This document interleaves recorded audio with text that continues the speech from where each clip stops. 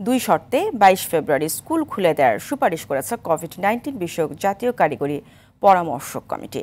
সুপারিশের স্বাস্থ্যবিধি মেনে এবং দুই ডোজ টিকা নেওয়া থাকার শর্তে আগামী একুশ ফেব্রুয়ারির পর থেকে মাধ্যমিক ও বিশ্ববিদ্যালয় পর্যায়ে শিক্ষা প্রতিষ্ঠান খুলে দিতে বলা হয়েছে।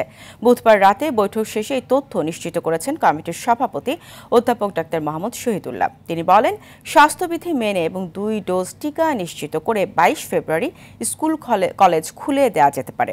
এ নিয়ে আজ বেলা এগারোটায় শিক্ষা মন্ত্রণালয়ে সংবাদ সম্মেলন ডেকেছেন শিক্ষামন্ত্রী দীপুমণি করোনা পরিস্থিতির অনেক যথেষ্ট উন্নতি হয়েছে, তো এখন স্কুল, কলেজ সরকার খুলে দিতে পারে দুটি শর্ত নিয়ে। একটি হলো যে স্বাস্থ্যবিধি যেন কঠোরভাবে মানা হয় এবং একই সাথে দুইটা ডোজ নিয়েই যেন শিক্ষার্থীরা ক্লাসে উপস্থিত হয়। বাইশ তারিখ থেকে খোলা যেতে পারে, আমাদের কোনো আপত্তি নেই, কিন্তু সরকার সেটা তো সিদ্ধান্ত নেবে যে বাইশ তারিখে খুলবে নাকি আরও কয়েকদিন পরে খুলবে, এটা সরকার সিদ্ধান্ত।